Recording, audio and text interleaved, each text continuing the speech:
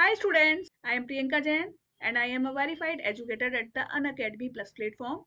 You can watch several of my Plus classes. Okay, I have soon started a Catalyst batch course for the whole inorganic chemistry. You will see whole the inorganic chemistry in this course and this is for the upcoming June 2022 exam of the CSIR NET as well as for the GATE exam. Okay, so if you want to see different of the my lectures, different courses, you can see on the Unacademy take the subscription of the Unacademy.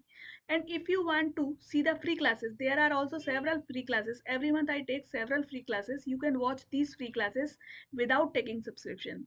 So for this, you will have to uncode my code.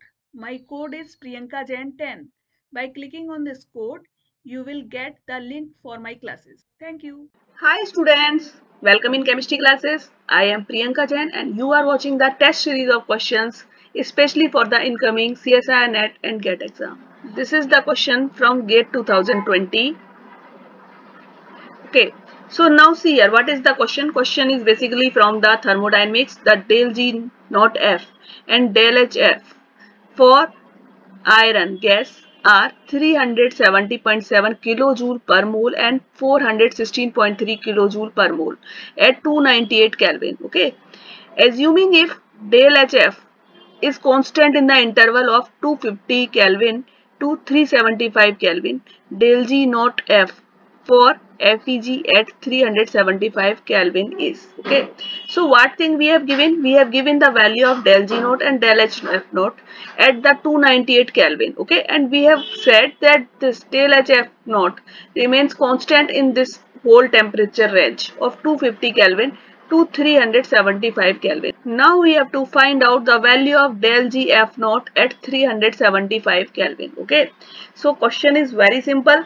What you have to do? Just see here.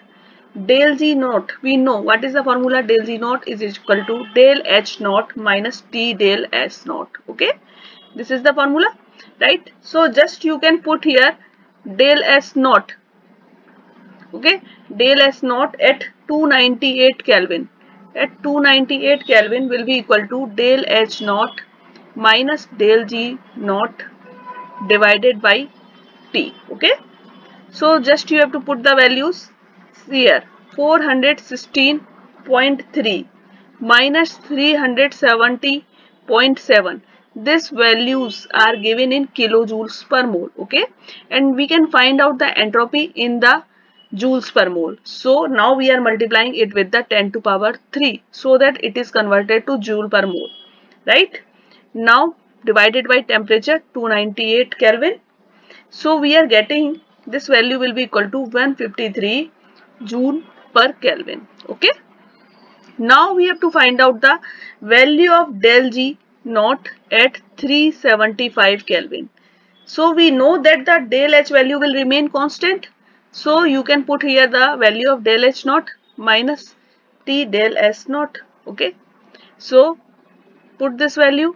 This value will be equal to 416.3 into 10 to power 3 right minus this value of will be equal to 375 into 153 okay so you are getting the value will be equal to 359 into 10 to power 3 joule per mole. Okay. So now convert it to kilojoule per mole. So it will be 359 kilojoule per mole. Okay. So this is the answer. Now you can match this option number A. This is the right answer. Okay. So this is the answer. Now see the next question. See here the next question is again from the thermodynamics for the ring opening reactions of cyclopropene to propene at 25 degree centigrade. The pre-exponential factor is 4.3 into 10 to power 15 second inverse 1 the entropy of activation in joules per kelvin per mole is okay? We have to find out the answer. Round off to two decimal places okay? So now see here. One thing for the entropy of activation you have to use this formula K is equal to KBT upon H e to power del S star upon R e to power minus del H star upon RT. Okay. For these formulas and for more details, you can see our videos of thermodynamics and of the chemical kinetics. This particular formula is from chemical kinetics. You can see these formulas. Okay. Quick review I have made of the chemical kinetics. I will give you the link in the description box so that you can see. Okay. So this is the formula for the entropy of activation. Now you know one more formula for the Arrhenius equation we know k is equal to a exponent of minus e naught upon rt or ea upon rt right this value and this value is same if you are comparing these two equations this will be same and this a a will be equal to this factor okay so we can write a is equal to kbt upon h e to power del s star upon r okay so now you can put here the values. When you are putting the values, what you are getting? 4.3 into 10 to power 15. This is the value of pre-exponential factor. This is given to us. Okay. And KB. KB we know. We have given here Boltzmann factor. 1.38 into 10 to power minus 23. Okay. And temperature. Temperature is given to us. That is 25 degree centigrade. So put its value in Kelvin. 298 Kelvin then divided by Planck's constant 6.6 into 10 to power minus 34 multiplied with exponent of del s star upon r. Value of r is 8.31.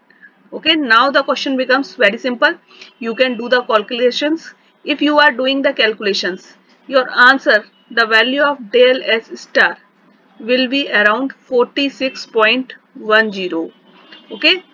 This value you will get in joules per kelvin. Okay?